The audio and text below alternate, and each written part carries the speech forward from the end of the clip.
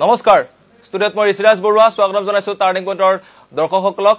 আৰু এই মুহূৰ্তত লৈ আহিছোঁ এক চৰ্চিত বিষয়। যোৱাকালিৰ পৰা যিটো বিষয়ে চৰ্চাত লাভ কৰিছে যিটো বিষয় চৰ্চাত আছে সেই বিষয়টো হৈছে পুনৰ এন আৰ চি উন্নীতকৰণ। চলি আছে শীতকালীন অধিৱেশন সংসদৰ আৰু সংসদৰ মজিয়াত যোৱাকালি কেন্দ্ৰীয় গৃহমন্ত্ৰী অমিত শ্বাহে ঘোষণা কৰিছে যে পুনৰ এন আৰ চি উন্নীতকৰণৰ প্ৰক্ৰিয়া আৰম্ভ হ'ব। সৰ্বভাৰতীয় স্তৰত এইবাৰ আৰম্ভ কৰিব বিচৰা হৈছে এন আৰ চিৰ প্ৰক্ৰিয়া। তাকে লৈ এতিয়া বিভিন্ন প্ৰশ্ন উত্থাপিত হৈছে। সচেতন মহলত যে পুনৰ আকৌ আহিব এন আৰ চি। এইবাৰ অসমকো সাঙুৰি লোৱা হ'ব সৰ্বভাৰতীয় স্তৰৰ এন আৰ চিখনত। আৰু এই কথা এই মন্তব্য প্ৰকাশ কৰিছে কেন্দ্ৰীয় গৃহমন্ত্ৰী অমিত শ্বাহে। আৰু এন আৰ চি প্ৰক্ৰিয়াটোৰ সবিশেষ জনাব আমাৰ সাংবাদিক পৰমা সোণোৱালে। উপস্থিত আছে আমাৰ সাংবাদিক নিউজ ডেস্কত। মই পোনে পোনে গৈছো পৰমাৰ ওচৰলৈ। পৰমা এই মুহূৰ্তত যিহেতু যোৱাকালি এন আৰ চিৰ কথা পুনৰবাৰ আহিছে পুনৰবাৰ উত্থাপিত হৈছে সদনৰ মজিয়াত N R C N R C উন্নীতকৰণৰ কথা আকৌ কৈছে অমিত শ্বাহে। এই সন্দৰ্ভত আপোনাৰ হাতত কি কি তথ্য আছে? আমাক এন আৰ চি সন্দৰ্ভত আপুনি সবিশেষ জনাওক। হয় ঋষি মই জনাব বিচাৰিছো যে অসমৰ যি আজি এন আৰ চিৰ কাৰণে পুনৰবাৰ পুনৰবাৰ এন আৰ চিৰ যি প্ৰস্তুতি হ'ব বুলি কৈছে এন আৰ চিৰ যি উন্নতিকৰণৰ প্ৰক্ৰিয়া আৰম্ভ হ'ব বুলি কৈছে ইয়াত অসমৰ ৰাইজ যথেষ্ট চিন্তিত হৈ পৰিছে। যদি পুনৰবাৰ এন আৰ চি উন্নীতকৰণ কৰিব লগা হয় নিশ্চয়কৈ অসমৰ ৰাইজে যথেষ্টখিনি অসুবিধাৰ সন্মুখীন হ'ব। ঋষি? হয় পৰমা নিশ্চিতভাৱে যে আকৌ যদি এন আৰ চি আহে যথেষ্ট সমস্যাৰ সন্মুখীন হ'ব বুলি ইতিমধ্যেই চৰ্চা আৰম্ভ হৈছে। এতিয়া অসমৰ ৰাইজে কি কয়? এই মুহূৰ্তত অসমৰ ৰাইজৰ প্ৰতিক্ৰিয়া কি? পোন্ধৰ পঁচপন্ন হাজাৰ যি কৰ্মচাৰী নিযুক্ত কৰা হৈছিল এখন এন আৰ চি আমি পালোঁ। আৰু তাৰপিছত নতুনকৈ আকৌ সৰ্বভাৰতীয় স্তৰত যিখন এন আৰ চি হ'ব তাক লৈ ইতিমধ্যেই চৰ্চা আৰম্ভ হৈছে অসমকো সাঙুৰি লোৱা হ'ব আমি ইতিমধ্যেই জনাইছোঁ। আৰু ইয়াক লৈ এতিয়া অসমৰ ৰাইজৰ মাজত কেনেকুৱা প্ৰতিক্ৰিয়া? পৰমা নিশ্চয়কৈ অসমৰ ৰাইজ এতিয়া দুধুৰ মুধুৰ অৱস্থাত আছে। ক'ব লাগিব যে ঊনৈছশ এসত্তৰ চনৰ যি আমাৰ অসম চুক্তিৰ যি অসম চুক্তি আছিলে সেই চুক্তি মৰ্মে আমাৰ এই এন আৰ চি উন্নীতকৰণ হৈছিলে অসমৰ এন আৰ চি উন্নীতকৰণ হৈছিলে। কিন্তু এতিয়া কোৱা হৈছে যে সমগ্ৰ ভাৰতবৰ্ষতে এন আৰ চি উন্নীতকৰণ কৰা হ'ব সেইটো হৈছে ঊনৈছশ একাৱন্ন চনৰ ভিত্তিবৰ্ষ ৰাখি এতিয়া আমাৰ অসমৰ ৰাইজৰ যথেষ্টখিনি প্ৰতিক্ৰিয়াৰ সৃষ্টি হ'বই যিহেতু ইতিমধ্যে আমাৰ ঊনৈছশ এসত্তৰ চনৰ যি কাটক তাত আমাৰ অসমৰ এন আৰ চি উন্নীতকৰণ হ'ল। কিন্তু এতিয়া যদি ঊনৈছশ একাৱন্ন চন কৰি দিয়ে তেন্তে অসমৰ ৰাইজ এতিয়া বিপাঙত পৰিছে আৰু বিভিন্ন দল সংগঠনে ইয়াৰ ওপৰত প্ৰতিক্ৰিয়া প্ৰকাশ কৰিছে যে আমচুৱেতো এই বিষয়টোৰ সন্দৰ্ভত এই এন আৰ চিক তেখেতলোকে কেতিয়াও গ্ৰহণ নকৰে বুলিও তেখেতলোকে স্পষ্ট কৰি দিছে।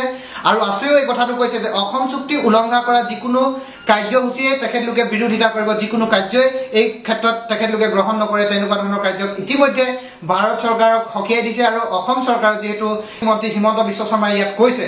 যে ঊনৈছশ একাৱন্ন চনৰ ভিত্তিবৰ্ষ হ'ব লাগে বুলি অসম চৰকাৰে যিহেতু ভাৰত চৰকাৰক তেখেতলোকে দাবী উত্থাপন কৰিছিলে সেই দাবীক সন্মান সন্মানীয় গৃহমন্ত্ৰী দেৱে তেখেতলোকৰ এই সন্মান তেখেতলোকৰ যি প্ৰস্তাৱ তেখেতলোকে মানি লৈছে। কিন্তু এই প্ৰস্তাৱক কিন্তু অসমৰ যিসকল জাতীয় সংগঠন আছে তেখেতলোকে এই ক্ষেত্ৰত বহুতখিনি তেখেতলোকে মানি ল'বৰ কাৰণে অমান্তি হৈছে। হয়।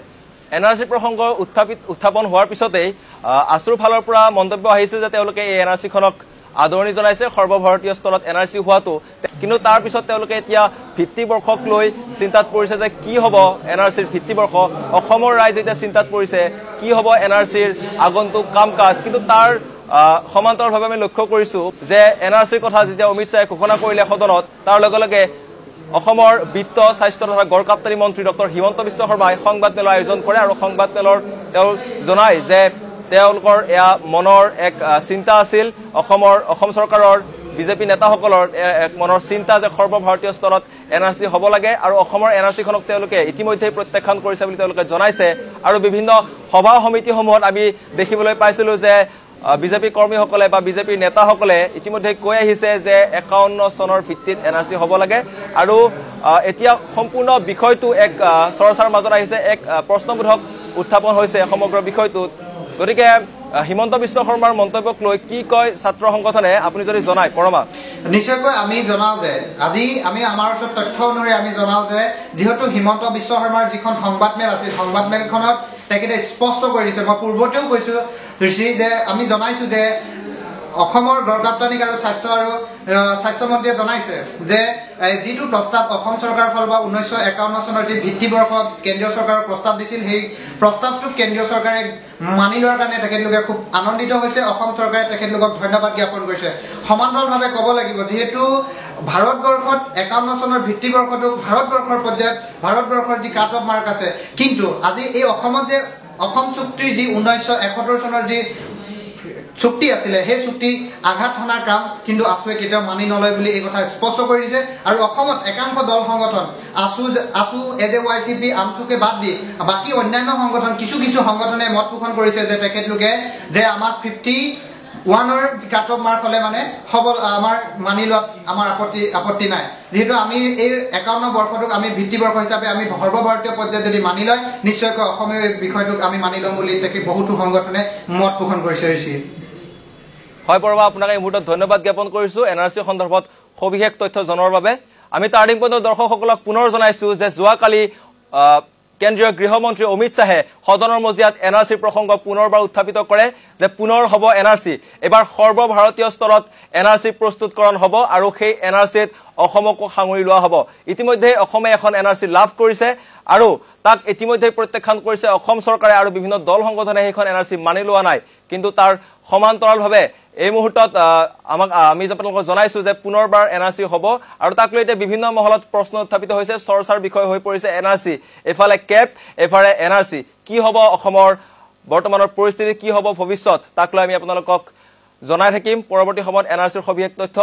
এই মুহূৰ্তত মই ঋষিৰাজ বৰুৱা ষ্টুডিঅ'ৰ পৰা বিদায় লৈছো। ধন্যবাদ।